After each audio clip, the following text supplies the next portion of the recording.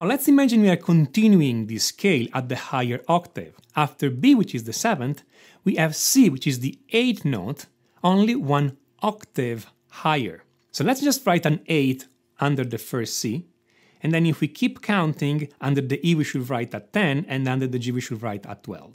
This higher number here just means that the notes is supposed to be at the higher octave. Nothing strange. Now, if we take the notes that it's two frets above the root, we're gonna call this note the ninth of the chord, and in this case it's D, two frets above the C.